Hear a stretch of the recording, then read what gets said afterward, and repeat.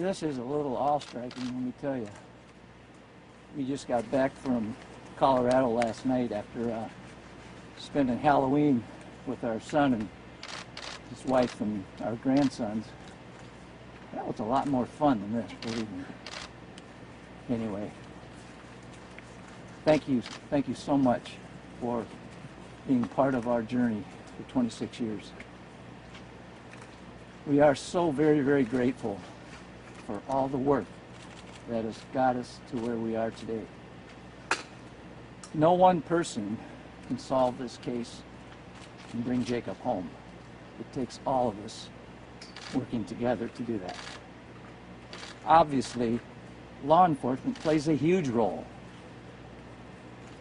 And you guys, too, you media, play a very, very important role in getting the information out to the public. But you know what?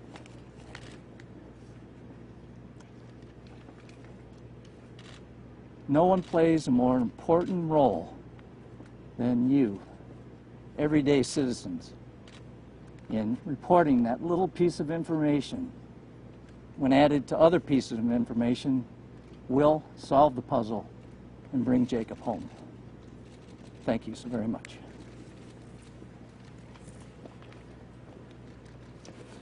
I also want to thank you for being with us for 26 years. It's amazing length of time. And the reason we wanted to do this here is because this is this is where it happened. We still don't know who took Jacob. We have as many questions or more as all of you, and uh, we will let law enforcement and the courts and, and the process continue, and we'll watch impatiently um, for answers. But it, the one question that we have said for 26 years is, where's Jacob? Where is Jacob? And that's what we're always going to ask is where is Jacob? That's what we've been trying to find for all of these years. And I really believe that somebody in this community knows. We are really, really proud of, of Jared and all of the, the victims who came forward in Paynesville. Um, there may be other victims. There may be other stories to share. What we do know is that child sexual abuse and abduction is something that we can't tolerate, and I refuse to be silenced by this man. I, I we were caught off guard, like all of you, and we don't have the answers yet. But I refuse to be silent. We have to all. I know that there's more good people in the world than bad, and when good people pull together, amazing things happen. And that's what we need to, to focus on. I have been focusing on the world that Jacob knew and believed in for all of this time, and I. I want us to remember that. I want us to, to still know that hope is real. Hope is what Jacob knew. It is a verb. You don't sit back and hope that good things happen. It is all of you showing up. We know that missing kids come home after long periods of time. You've, you've seen those stories. I've met those families. And I will still always, always hope until we have our answers. But we have to also focus on preventing these things from happening so that no other family would ever have to go through this. We can't tolerate victimization of children. We need to teach our children how to not grow up and harm another.